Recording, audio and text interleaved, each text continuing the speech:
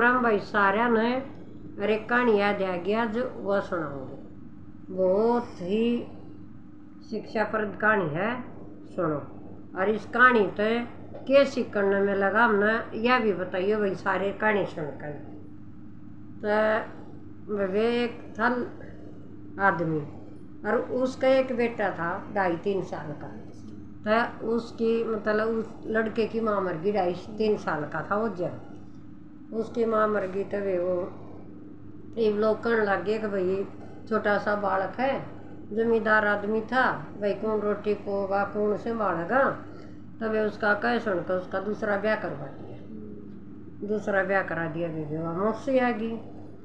वहाँ मौसी आ गई तभी उसने उसको जलन होगी उस लड़के की।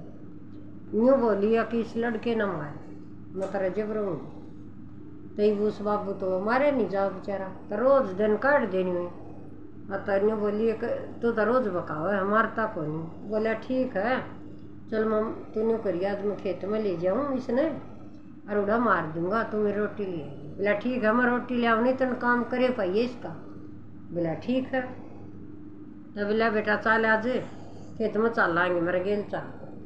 चले गया, बेबे बालक था वो तो उसका बाबू और जोड़ रहा, और वो अपने खेत में खेल, अपने क्यारी क्यूरी बना कर तो बेबे आम का पेड़ दी क्या तो वो उसका के करा? है उसका न्यू करा? है जो कर डोली कर दी, उसमें पानी घेर दिया, उसमें डिकड़े चुग दिए, उसकी सेवा करने लग रहा। और तो वो बोला क्या करे बेटा? बोला, बाबू, कुछ ना, बताऊँ न्यू करिए। बोला न न दूर कर ले जाइए। बोला, के हाड़? है बोला, बाबू, हाड़ा आम का पेड़ है। और इसने मत ना पाड़िए और तो वो बोला बोला, क्या हो गया बेटा? ये तो है ना, बीच में होगा खेत का? और बोला, और जाम जाएगा ये तो छोटा सा ही है। और हो जाएगा को? बतेरे से खेता में नहीं बोला, बाबू। यू तो होया हुआ से और के राखो जाम के ना जाम तो वे उसके बाबू को समझ में आई। कोई इस छोटे छोरे में इतना ज्ञान आके यू पेड़ और के राहो का ना हो? तेरा छोरा होया हुआ और वह रांड नु कैसे न मार दे। और फिर इस रांड का केरा का ना हो। आगे भी समझ में आ गई तो बोला, ठीक है बेटा को ना पाड़ो दे ले पानी, फ़ोन अपना खेलने गया। तो भी वो आई रोटी लेकर।